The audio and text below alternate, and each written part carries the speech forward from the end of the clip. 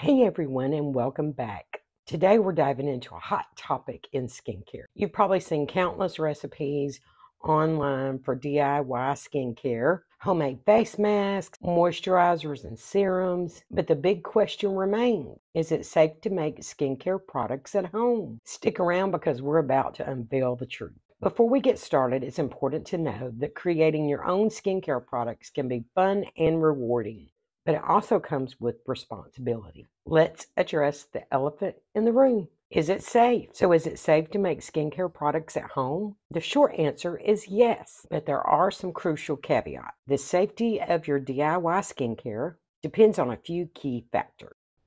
The most important key factor is do you know your skin type? This is the deciding factor on which ingredients to use in your skincare. If you've made it this far in this video, I'm quite sure you already know.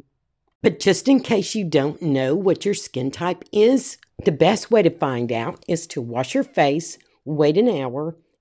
After an hour, does it feel oily? Does it feel dry? Does it feel oily in a few spots and normal in a few other spots? For the sake of this video, we're going to say that your skin is oily. I know, for instance, by doing my research online, that jojoba oil is great for oily skin.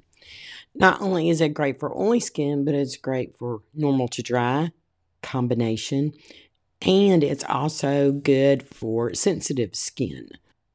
Here's a screen recording for you guys where I researched the jojoba oil, the clear to be precise. And you can see as I go through the recording, the properties, what type of skin that it's good for.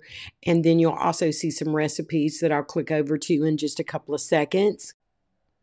The suppliers' websites are the best sources of information on any of the ingredients that you're going to work with or that you're going to purchase. You know, you can see um, how much it costs, you can see if it'll work for the type of skin that you have or for the person that you're making it for. You can also find recipes.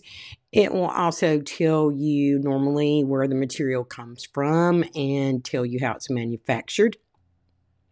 And it'll also let you know how much um, you can use in a recipe or what the recommended rate is. This is another supplier that I also purchase from on occasion. And just for research purposes, I went over to this website and looked at the jojoba, oil, and it pretty much said the same thing. So we know that we can use this at a 100% rate, and it's not going to hurt anything.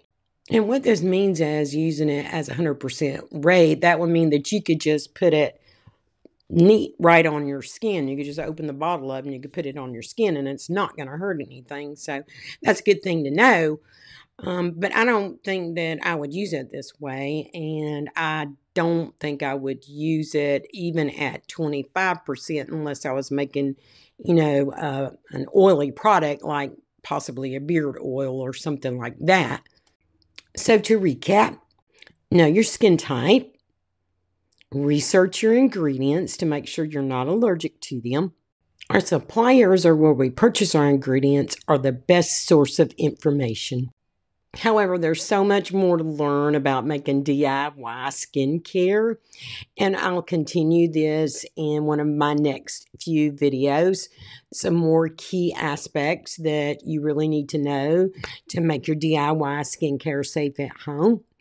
So, if you've made it this far again, like, share, and subscribe, and I'll see you guys in the next video. Thanks for watching. And John 3:16 says, "For God so loved the world, he gave his only begotten son, that whosoever believeth in him shall not perish, but have eternal life."